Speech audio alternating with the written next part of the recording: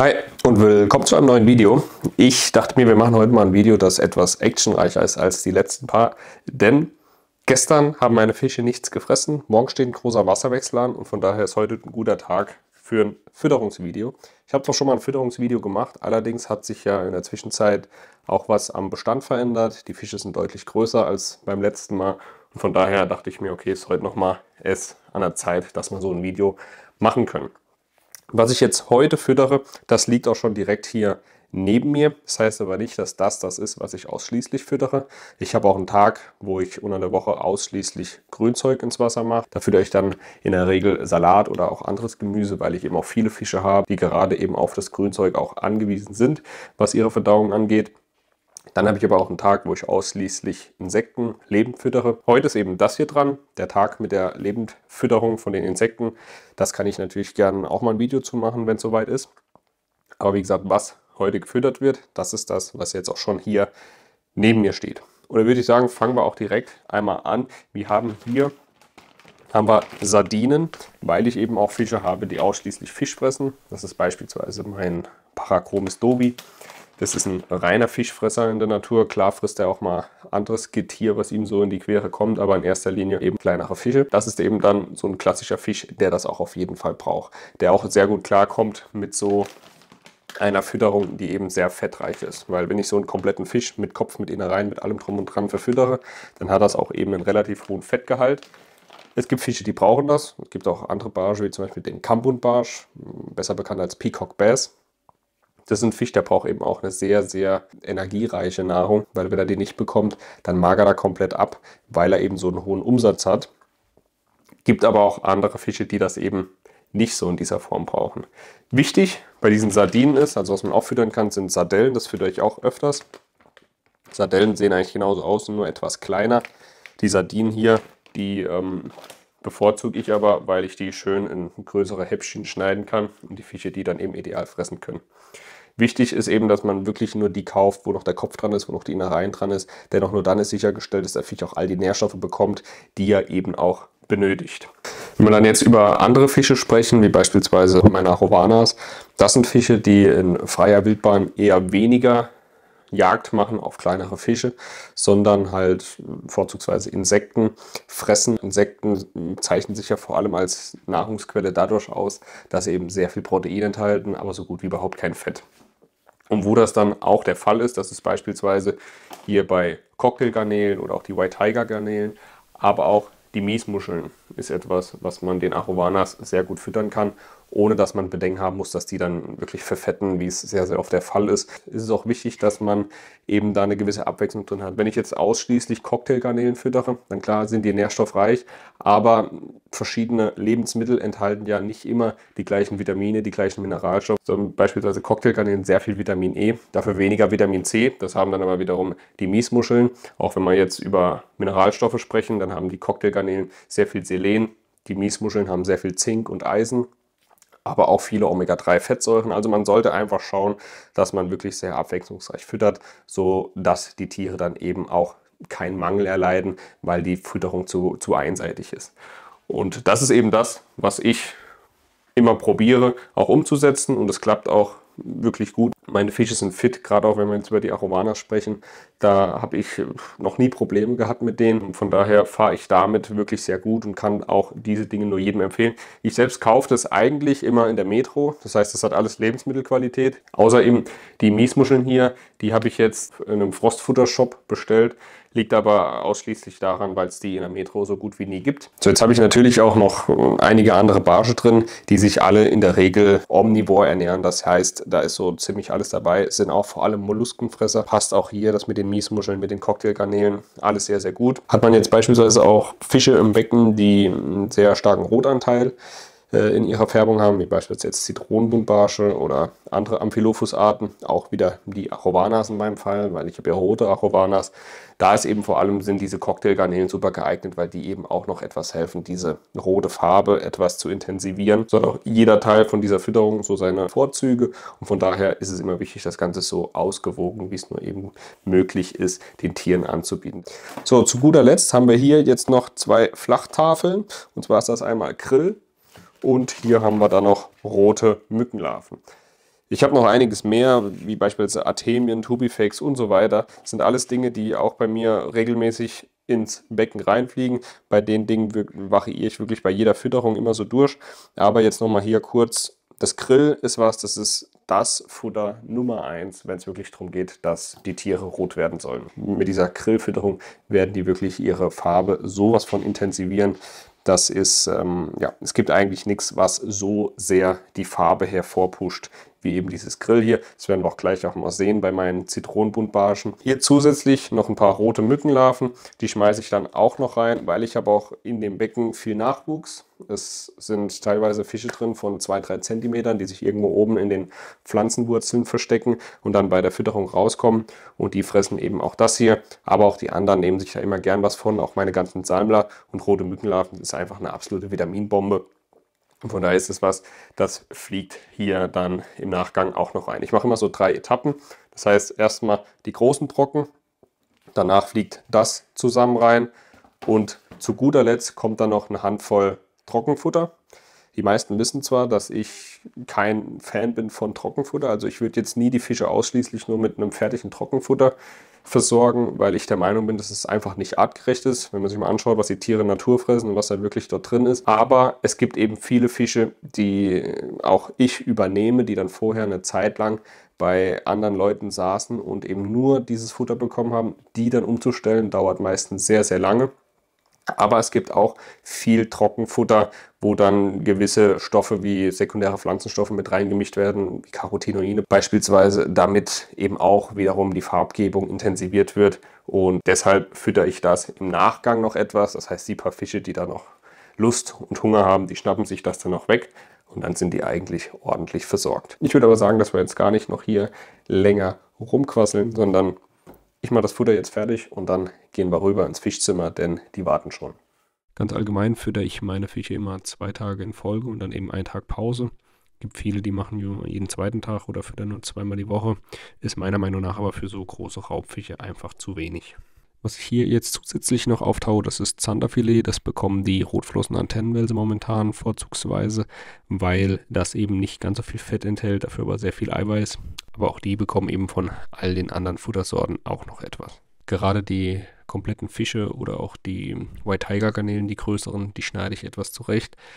Nicht, weil die Fische die nicht komplett schlucken könnten, da sind durchaus Fische bei, die so einen kompletten Fisch auch einfach mal schlucken könnten. Allerdings, wenn ich das alles etwas kleiner schneide, ist eben auch die Wahrscheinlichkeit höher, dass sich jeder von allem etwas nimmt und somit einfach auch die Fütterung ausgewogener ist. Und das ist der Grund, warum ich das trotz der Größe meiner Fische auch immer noch relativ klein schneide. Und so sieht man, dass eben von allem in einem gut ausgewogenen Verhältnis alles verfüttert wird und so bereite ich mir das hier immer vor.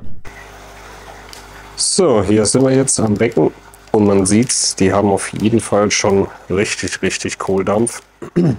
sind so gut wie alle hier vorne an der Scheibe. Die Zitronenbuntbarsche, die haben dort unten Nachwuchs. Und das ist auch der Grund, warum die ständig dann jetzt auch wieder abhauen dorthin. Ja, so sieht das dann meistens abends aus. Weil die nämlich genau wissen, dass es eben Futter gibt. Das Licht, das dimmt sich ja auch selbst runter. Das heißt, es simuliert einen Sonnenuntergang. Von daher wissen die genau, okay, jetzt zu dieser Zeit ist es dann auch soweit, dass wir hier endlich Futter bekommen. Deshalb stehen sie auch schon hier oben, da gibt es schon wieder Stress. Immer so, wenn es Futter gibt. Aber ja, fangen wir mal an. Ich stelle das Futter dann meistens immer hier oben hin, mache dort dann eine von diesen Doppelstegplatten weg, damit dort offen ist. Und dort fliegt es dann rein. Deshalb stehen es auch schon alle an dieser Stelle hier. Also, let's go. So.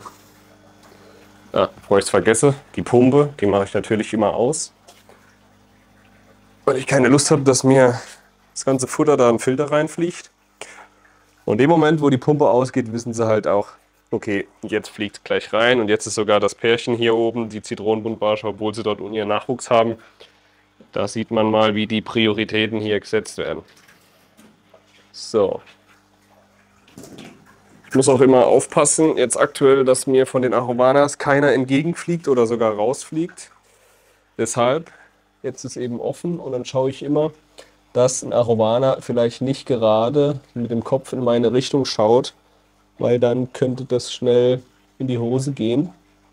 So. Jetzt.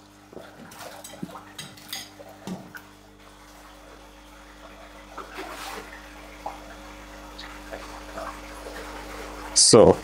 Dann sieht man, das große Fressen geht los. Und da schnappt sich eben jeder so das raus, was ihm eben am besten schmeckt. Ich weiß nicht, ob man es jetzt gesehen hat, aber der Paracomis Dobi schnappt sich eben auch immer am liebsten die Stücke raus, die eben Fisch sind. Da unten schnappt das jetzt auch gerade, hat er sich einen Sardinenkopf gekrallt. Also das hier ist ja der Paracomis Dobi und der ist eben, wie gesagt, ein reiner Fischfresser. Und der braucht das eben und der nimmt sich das dann auch vorzugsweise. Wenn man dem das nicht füttert, dann fehlt einfach was. Von daher sollte man sich doch schon immer genau überlegen oder genau auch anschauen, was denn meine Tiere brauchen, was meine Tiere fressen. So, jetzt liegt da oben natürlich noch einiges drauf. Ich warte immer, bis dann jeder jetzt gefressen hat, bis alles weg ist und dann fliegt die nächste Ladung rein.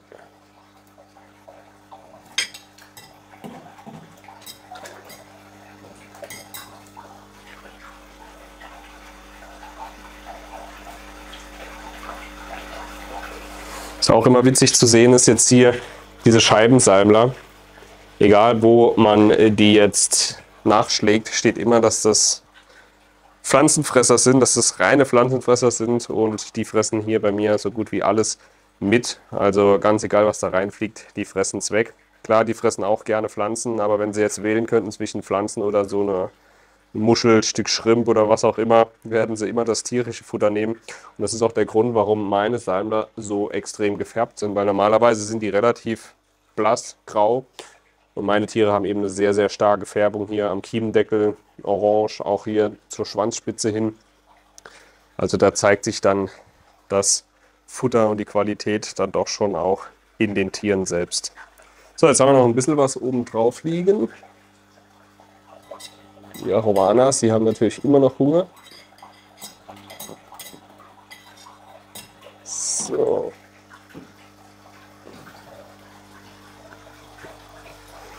Ja, jetzt ist der Teller leer, wie man sieht.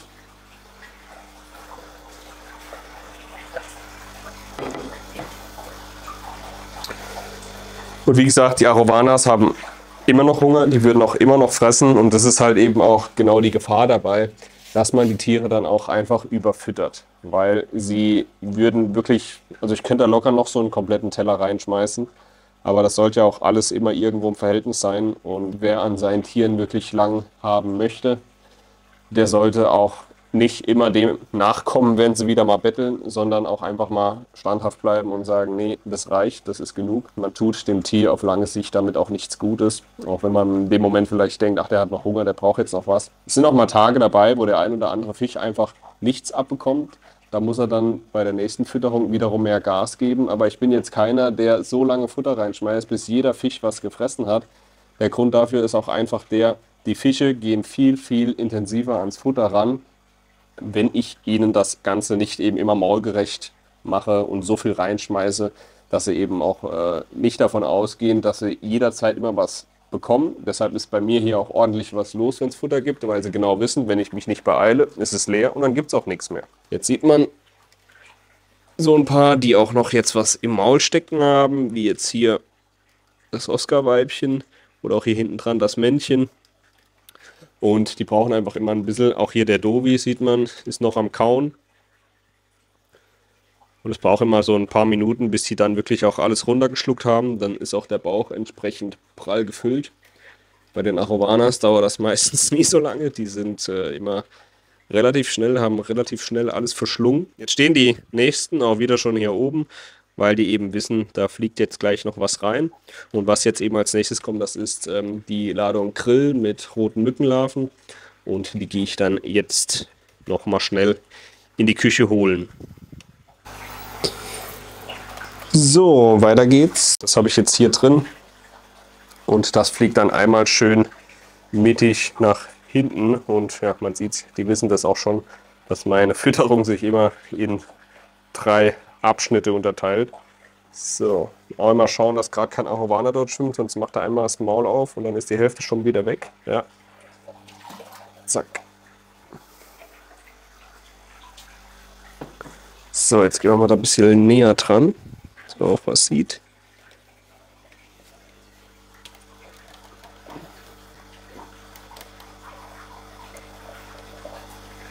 Auch meine Oscars, die wirken jetzt vielleicht auch auf dem Video nicht so riesig, aber die haben 40 Zentimeter und äh, trotzdem gehen die da an dieses Kleinzeug ran. Man sieht es auch hier vorne, der Salmler, der schnappt sich da auch gerne mal wieder was.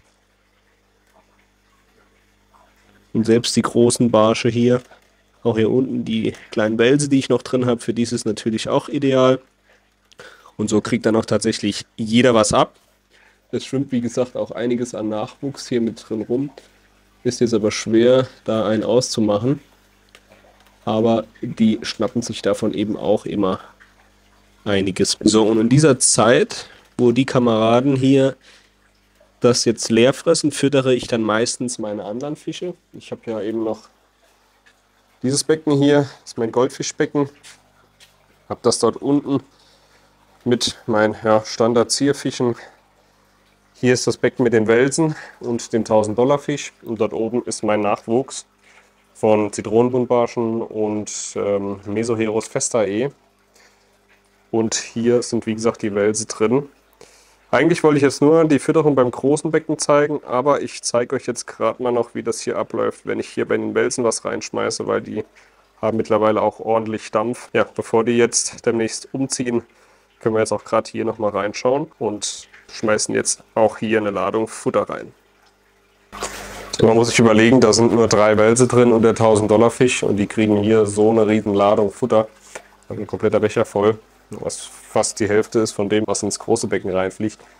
Da sieht man schon, was diese Kameraden alles wegfressen. So, jetzt kommen sie auch schon raus, das kennen sie nämlich. So, dann verteile ich das hier immer schön.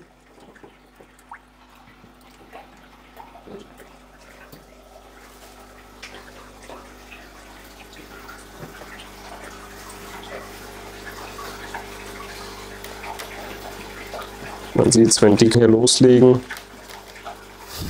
da hat die Einrichtung keine Chance. Also, wenn da irgendwo ein Stück Futter noch unter einer Wurzel liegt, das wird einfach weggeschoben, als wäre es nichts. Ja, und die Kameraden haben wirklich einen Kohldampf, der ist nicht zu bändigen.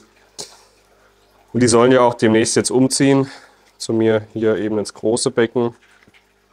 Momentan tue ich mir mit dem Gedanken noch etwas schwer, weil ich noch nicht richtig weiß, wie ich es organisiert kriege, weil sehr, sehr wenig von diesem Futter wirklich auf dem Boden landet und ich muss mir da mal was überlegen, wie ich das dann realisiert bekomme. Ich bin dabei, die Tiere so weit zu bringen, dass sie mir auch außer Hand fressen. Der größere von denen macht das auch. Das heißt, wenn ich oben was eben an der Wasseroberfläche halte, an Futter, kommt er hoch und frisst mir das aus der Hand. Das wäre vielleicht eine Idee, sodass die wirklich auch genug Futter bekommen. Aber ich muss mir das noch überlegen, wie ich das genau mache. Auf jeden Fall sind die in so kurzer Zeit jetzt wahnsinnig gewachsen. Wer sehen will, wie die vor ein paar Wochen noch ausgesehen haben, der kann einfach mal hier oben rechts klicken. Dort sieht man das nämlich. Die sind unglaublich gewachsen. Also Wahnsinn. Aber Einfach super schöne Tiere. Für mich der schönste Wels überhaupt.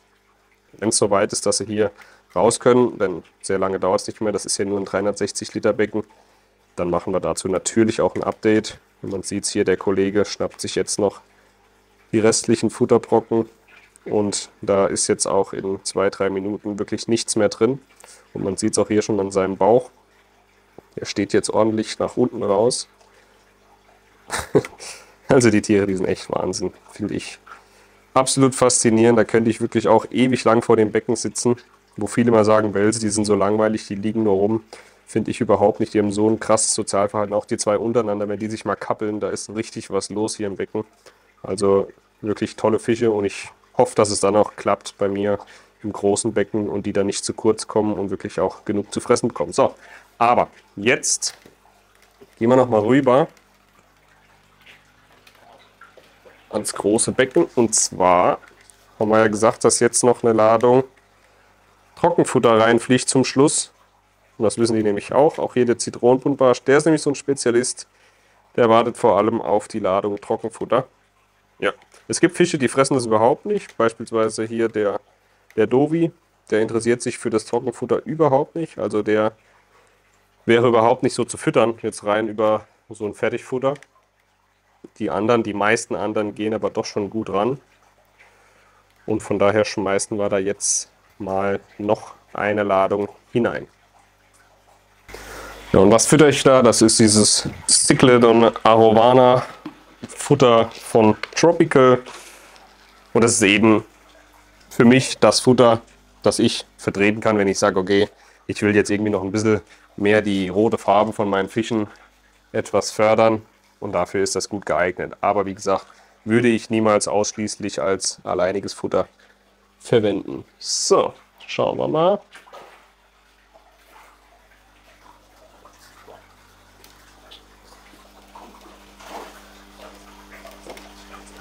Und wie man sieht, schmeckt denen das auch sehr gut. Da gehen auch teilweise die Aromanas dran. Ja, man es gerade gesehen. Das ist vor allem aber auch eine Sache mit dem Trockenfutter, wie eben schon erwähnt, wenn ich jetzt wirklich neue Fische bekomme, die schwer ans Futter gehen, die auch nur das kennen, den kann man das eben dann auch noch gut füttern, so als Übergang. Aber ja, so viel zur Fütterung. Und wie es scheint, haben sie auch tatsächlich alle was abbekommen. Also ich äh, merke das auch relativ schnell, wenn da jetzt einer dabei wäre, der nichts gefressen hätte oder der sich jetzt komisch verhalten hätte. Ähm, glücklicherweise sind die alle super fit momentan und ja. Ich hoffe, das Video hat euch gefallen. Ich mache jetzt die Fütterung hier noch fertig. Ich muss ja noch hier oben die Nachzuchten füttern, auch die anderen, die Goldfische dort hinten, die brauchen ja auch noch Futter. Hier sind wir jetzt durch, auch die Wälse haben jetzt was. Ich denke, das nächste Video in die Richtung werden wir dann machen, wenn hier nochmal eine Lebenfütterung ansteht. Das heißt Insekten, das sind ja meistens Mehlwürmer, Heuschrecken, äh, Kakerlaken und so weiter. Da ist dann auch nochmal etwas mehr los als jetzt, wie man sich sicher vorstellen kann.